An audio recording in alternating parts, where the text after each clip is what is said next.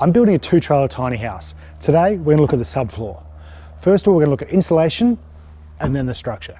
Let's talk insulation. Now, the more insulation's available than I've looked at, but I've just looked at ones that are readily available and uh, cost effective. So the first option I looked at was a bulk fill insulation. So this is polyester, which is much like fiberglass and it's not itchy. The problem with bulk fill insulation was the amount of volume that it needs. With such a big bat underneath the trailer, it was going to take up a lot of space. So I had to accommodate for that, but it also meant I wouldn't be able to build in the under, under trailer storage that I wanted to do. And the other reason is it doesn't provide a moisture barrier and you need something to support the bats underneath. So this usually means a sheet metal pan or a sheet metal pan rather, or a vermin mesh to support um, the bat, which means a lot more work uh, and effort putting insulation up underneath the trailer.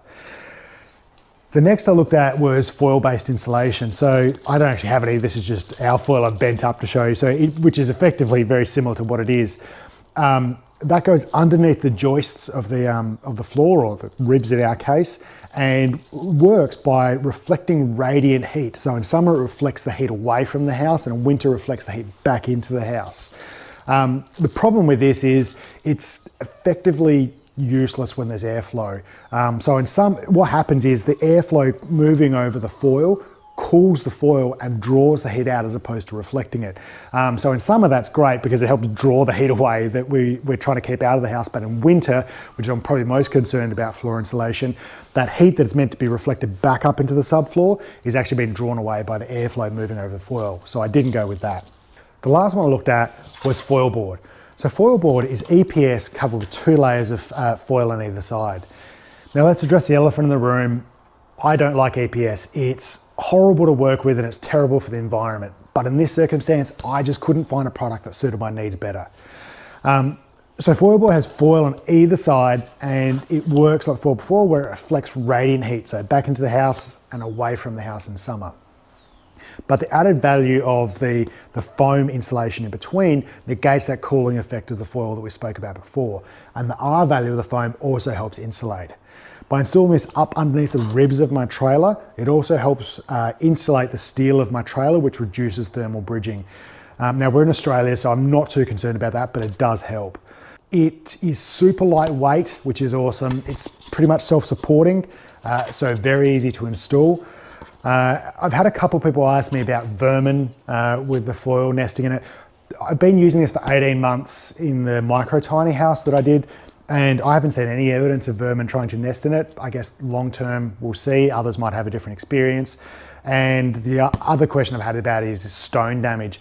Now, it's installed right up underneath the coaming, so it's pretty out of the way, but there is a possibility in some parts of the trailer that it could be susceptible to stone damage. But to be honest, it's super easy to repair with um, some aluminium tape. And if I do damage a panel, it's not hard to pull a panel off and put a new one in. And the other thing is, is because it's foil and I can uh, seal this up with aluminium tape, it provides a moisture barrier to the subfloor of my trailer. So this is what I've gone with. I've attached the foil board to the trailer by fixing it to the underside of the ribs wherever I can. On the outer perimeters where I have to put my leveling stands up underneath the trailer and my wheel wells, I've gone level with the bottom of the ribs and just on top of my chassis rail. Putting the foil board underneath the ribs gives me two benefits. The first benefit is insulating some of the steel on my trailer to stop thermal bridging through to the floor of my tiny house. But the main benefit is I get this air gap between the foil board insulation and my floor. The air gap helps dramatically improve the performance of the foil board in insulating the floor. Because it has a reflective foil, it allows the heat to be reflected back up into the house without losing it externally. I've done the same with the side trailer here, except for this space back here. I've boxed out an area that drops down underneath the trailer so that I can incorporate this into the underbed storage and gives me almost five, 600 mils worth of height. This is gonna be perfect for bulky items such as my hiking pack, esky, camping gear that'd be difficult to store other places. It also means that I can utilize that space that underneath the trailer that would have gone to waste. Let's have a look at the material they use for the subfloor. So the first option I looked at was plywood. Um, now plywood didn't work out at the lightest, but it was one of the lighter options uh, but it was the most expensive, and that's why I haven't gone with it. I know people do use a, lot, a thinner plywood at times with, for floors to reduce the weight of their tiny house, but to be honest, that can lead to sagging. So uh, when you go to a thickness that's thick enough for a floor, it wasn't entirely the lightest, but also got pretty expensive. So I didn't go with plywood. The next option was particle board flooring or Structaflor, however you like to refer to it. Um, cost effective, but the heaviest option, so I didn't go with that. So the product I've gone with is OSB flooring. Now, this stuff was the lightest option and uh, really cost effective. This is an 18 mil OSB, uh, which is only meant to go over a maximum of 450 centers, and my trailer has 600 mil ribs. And now we don't have to comply to the, the building code or adhere to standards. It is a really good measure of how's a product gonna perform over time.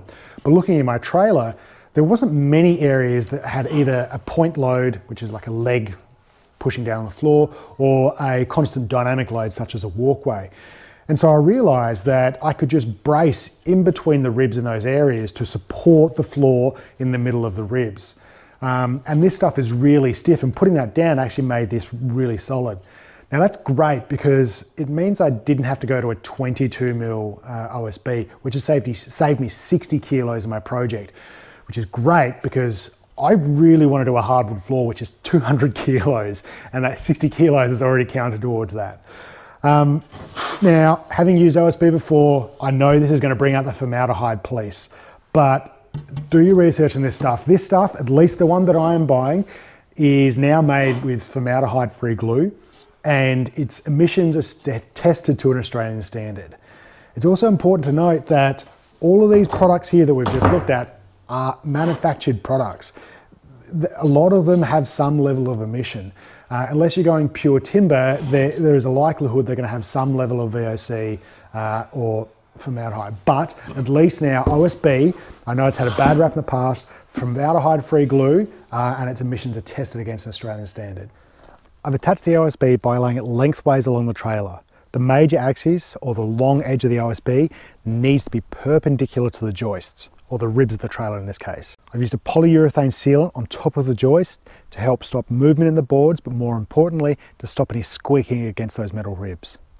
And I've offset the end joints of each of the boards to help give it strength. The bump out to my side trailer is going to house my shower. I've built the shower base into the structure of the floor. The steel that comes off the trailer has a slope in it that slopes my floor down to the front here where I have a recess for a grate drain. This saves me having to use compounds later to create the slope in my floor uh, and makes it much easier to deal with, particularly because grate drains need quite a deep recess into the floor. Now I know OSB isn't ideal for a shower base, but it has to have a waterproof membrane anyway, and I've been running this in the micro tiny house for over a year and a half without any issues. My wall frames will then come along the side here, frame it out, my, my wall lining will come down and meet the floor here. So that's the subfloors. I've got these things wrapped up now so they'll stay weather resistant until I can get them covered. Our next steps is we move on to the cool stuff we start framing, which I can't wait for because we have these two things that just look like trailers are gonna start taking shape into a house. So I'm really excited for that. Uh, as always, don't hate, educate. If you see something's video can be improved, comment down below and I'll respond to you if I can. In the meantime, go build cool stuff. I've got to make the most of this glorious weather and I'll see you soon.